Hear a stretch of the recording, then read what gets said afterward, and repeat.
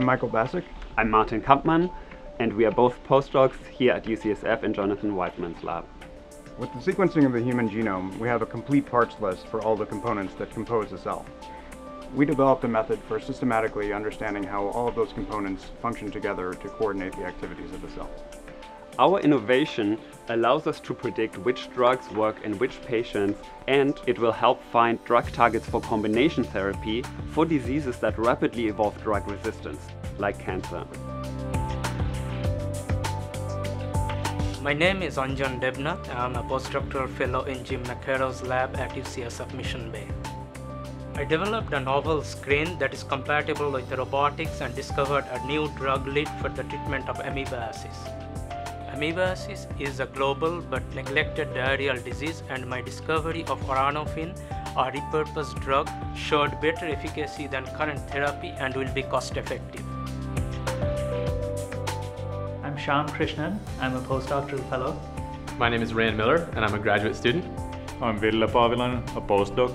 I'm Yana Serafimova, and I'm a graduate student, and the four of us, together with Jesse McFarland, work in Jack Taunton's laboratory in the Mission Bay campus of UCSF.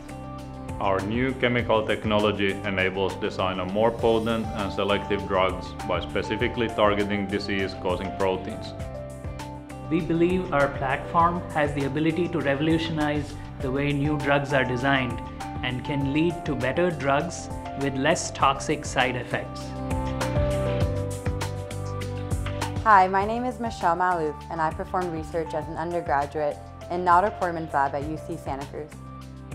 I will be starting my first year as a graduate student in the Department of Biomolecular Engineering. I've shown that our nanopipette technology can potentially be used to reprogram skin cells into stem cells. This technique can be used as a tool to aid regenerative medicine in search of cures for diseases affecting millions of patients. My name is Aijun Wang. I'm an assistant professor at UC Davis Medical Center. I've been a postdoctoral fellow in Song Li's lab at UC Berkeley for four years.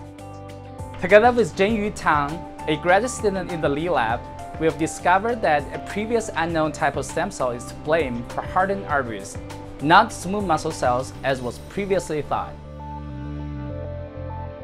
Our discovery will revolutionize therapies for vascular disease by providing a brand new target for future treatments.